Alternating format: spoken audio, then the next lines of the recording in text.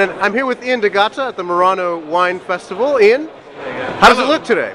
It looks great. I'm here with Federico Ceretto, one of Italy's most important wine producers, the Ceretto estate, is well known for Barolo and Barbaresco, but also wonderful Dolcetto and Barbera, and many other wines, the famous Arneis Blangè.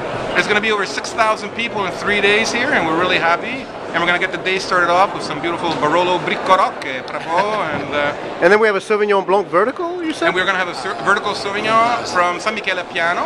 You and I are going to be there, and uh, we're going to go back to the early 90s, and it's one of Italy's best Sauvignons. Wow, can't wait.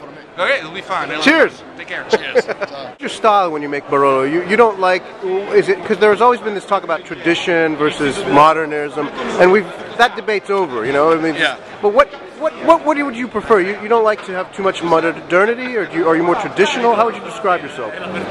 Well, basically, what's happening is um, um, uh, Barolo is discovering, uh, it's studying uh, in the last 20 years a terroir in the Burgundy way, so the, the, the characteristic of the soil into the wine. So, using too much of modernity or making too much of a step back into the uh, tight tradition uh, will not will not let the terroir to express. So basically, what we are doing is that we are uh, um, uh, doing vinification by parcels. So each parcel will have his own uh, uh, vinification.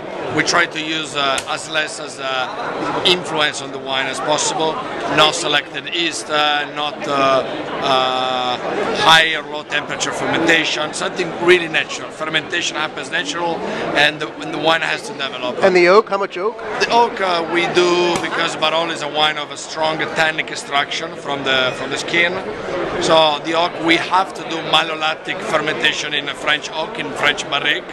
But then after one year we move the wine to finish the 24 months of uh, uh, aging by the regulation by the appellation into large cask. So it's not new oak. It's not new oak uh, and it's not only barrique. It's uh, just uh, French barrique for the malolactic, but then the aging uh, it's in large cask. In large cask in, in stainless steel, or is it? No, stainless, uh, has to be by law 24 months in uh, uh, Aging. in uh, wood. in wood, okay. So the appellation l- let you use uh, which kind of size you like and which kind of oak you like. Okay, I'm looking forward to trying your wines. Yes, come in. Okay, thank you.